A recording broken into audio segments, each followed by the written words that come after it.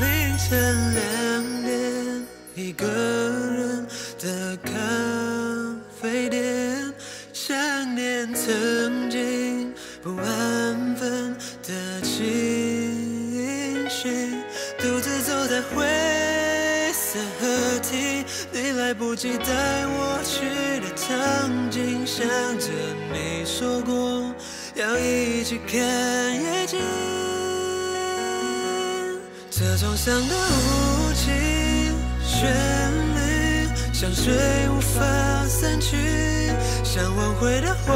语，勇气还是藏进心里，无法给你那种